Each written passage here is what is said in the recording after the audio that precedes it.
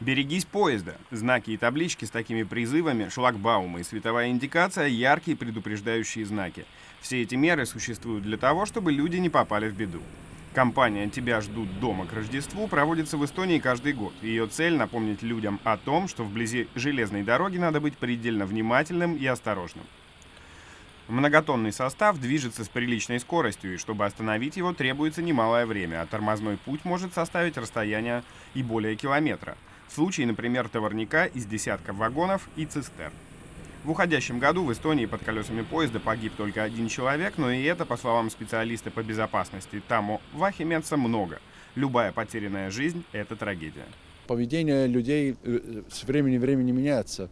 И в этот раз тоже мы традиционно своими, как сказать, сообщениями э, в эфире «Тебя ждут дома к рождественским праздникам», чтобы люди припомнились, что где-то кто-то их всегда ждет. И надо, не, нельзя забывать то, что машинисты, те люди, которые работают э, ша, с, в локомотивах, да, они тоже э, члены семьи, и их тоже ждут домой э, к праздникам. По словам Вахимянца, сейчас люди уже привыкли к новым поездам, курсирующим в Эстонии.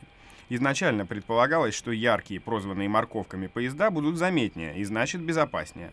Однако оказалось, что здесь сыграли другие факторы. Они быстрее двигаются, быстрее набирают ход и вдобавок малошумные. Все это делает их на самом деле менее заметными, а соответственно более опасными. Вахимец отмечает, что спустя пару лет люди стали более осторожными, но в группе риска по-прежнему остаются велосипедисты и люди в наушниках. Морковку и так-то не просто услышать, а сквозь музыку — верная смерть. В этом году первый раз э, у нас э, была авария с АТВ, то есть эти мото мотоциклы на четырех колесах, да. Первый раз, то есть э, новый, э, новый путь, вид спорта, ехать на железной дороге на этих э, аппаратах. Не стоит забывать и о золотых правилах безопасности на железнодорожных путях. Во-первых, рельсы можно пересекать только в предусмотренных для этого местах, предварительно убедившись, что рядом нет поезда. Во-вторых, хождение по железнодорожным путям строго воспрещается. В районе железной дороги можно находиться лишь при ее пересечении, а также при посадке в вагон или выходе из него.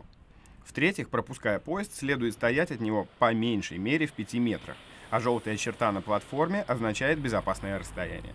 И тогда уж точно Рождество не будет ничем омрачено, как, впрочем, и любые другие дни. Алексей Иванов, Сергей Попридуха, Первый Балтийский канал.